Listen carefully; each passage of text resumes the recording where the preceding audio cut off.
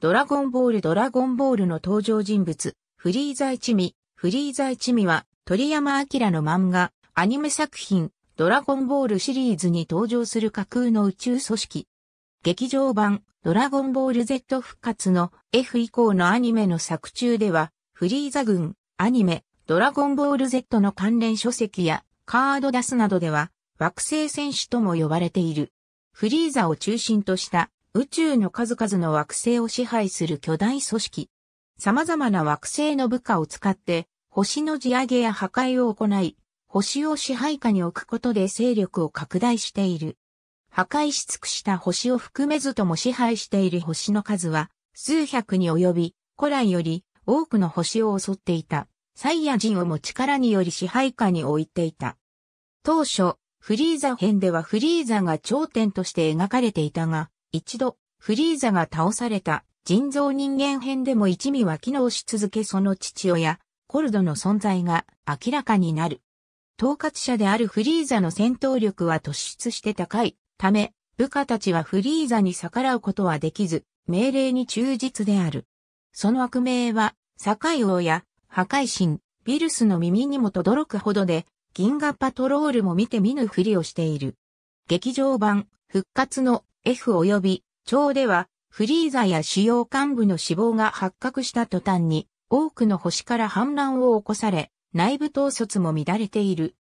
また、超では、最大兵力である、第1、第2大隊が全滅、第3大隊も半数が行方不明と軍の兵を6割、損耗した状態となったという説明が追加され、大幅に弱体化している。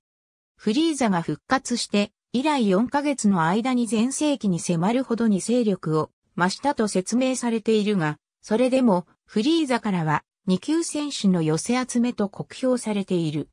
その戦闘員たちは不甲斐ない戦いをしたため全員フリーザに処刑され、劇場版ドラゴンボールスーパーブロリーでは軍の再生のために最低でも戦闘力1000の戦闘員を集めている描写がある。メンバーの名前はフリーザの親族がほぼ全員、冷やすや冷たいなどの関係のものに由来している。その部下は、サイヤ人も含め、冷蔵庫に入っている、食品関係で統一されている。戦闘員、幹部、直属の特戦隊で構成されている。乱暴なだけで、特に会社のような組織というわけではない。フリーザが全宇宙からえりすぐったエリート集団の5人からなる宇宙人戦士の総称。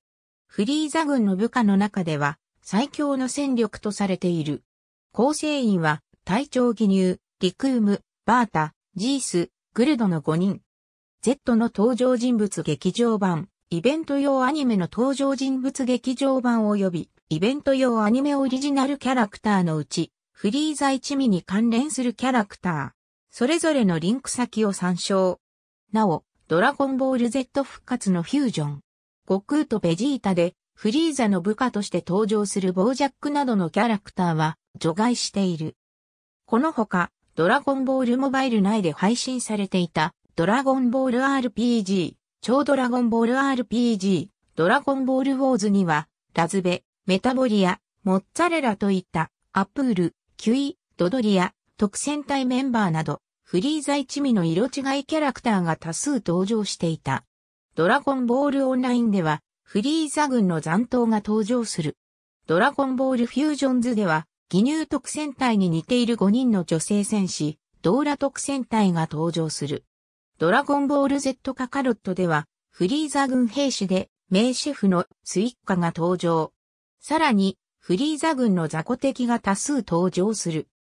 詳細は、ドラゴンボールの道具フリーザ軍を、参照ファミリーコンピュータ用、ゲーム、ドラゴンボール G 激震フリーザの攻略本では、フリーザ一味が地球の会社に例えられており、社長がフリーザ、社長秘書室が義乳特戦隊、部長がザーボン、ドドリア、課長がベジータ、キュイ、係長がナッパ、ラディッツ、平社員がアプールたち下級戦士、お茶組が栽培マンとされている。